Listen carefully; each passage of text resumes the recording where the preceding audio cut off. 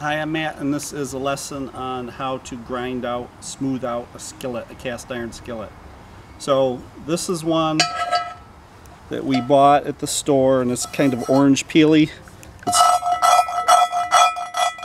real rough. You can see the finish there. This is one that I already ground out, and it's a lot smoother. We oiled it too. See the difference? So stuff won't stick to it. Basically you want to do this so stuff will not stick to it. So when I first started looking into how to do this, I saw different people have uh, different methods. One guy had a rock that he was doing it with. And he said he had several dozen hours into it grinding it out. And I thought, well, that's ridiculous. So um, I went to the store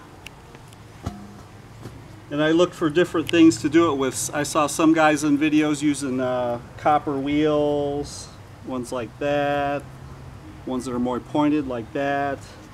I tried some grinding stones like these. I tried this thing. And then I saw this. And I knew when I saw this, this was going to work. This is by far the best way to do it. This is, this is the package it came in. It's called Avanti Pro Quick Strip Disc. Remove rust, corrosion, scale, paint, and epoxy. 4,000 RPMs. It's got a little picture of Meta steel I-beam on there. Different things you can grind.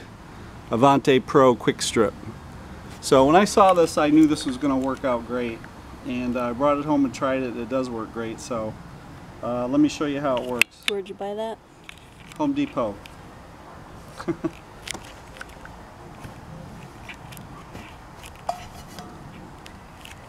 uh, you put it in a drill. This is a little bit bigger drill than what most people have. This is a, uh, what is this?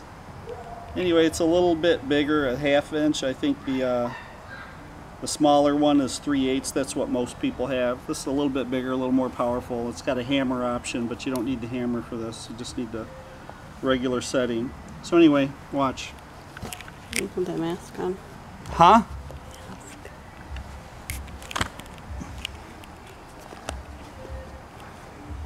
Use your safety equipment.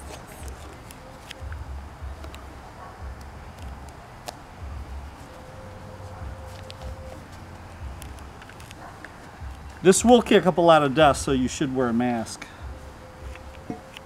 I stand on the edge like that to hold it still.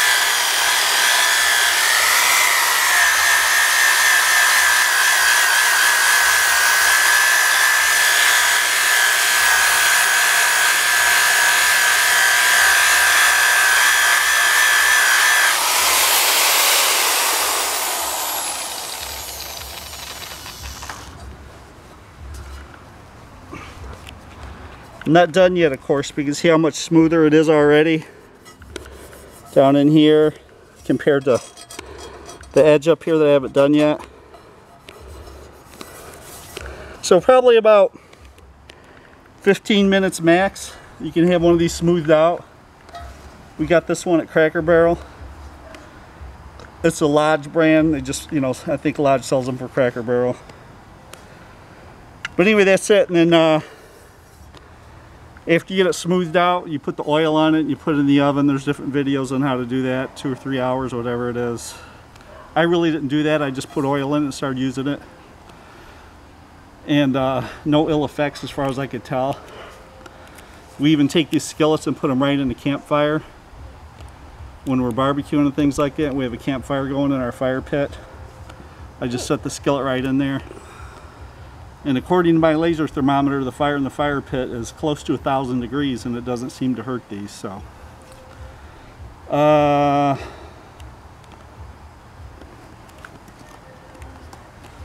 Avanti Pro Quick Strip, that's the fastest way to do this. Probably 15 minutes total I'll have into this. Other people say it takes several hours. You do this in 15 minutes with this tool. That's it, bye.